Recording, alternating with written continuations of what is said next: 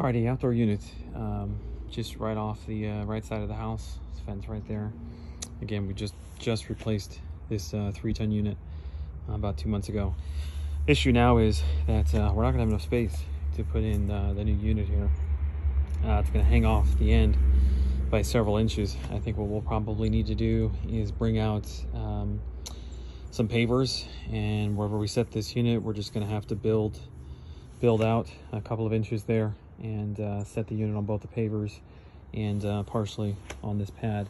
Um, to give you an idea of what this width is right now, you know, if we butt it all the way up against the AC, which obviously we're not gonna do, you know, that's 32 inches.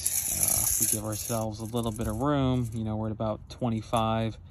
And I know these 16 SEER units are somewhere around 30, 32-ish, 30-ish inches. So we're gonna have probably, you know, four to four to eight inches that are gonna hang off the side of that. So we'll just need to bring out, um, just need to bring out some pavers and uh, do the best we can there. Line sets we're gonna flush service disconnect replace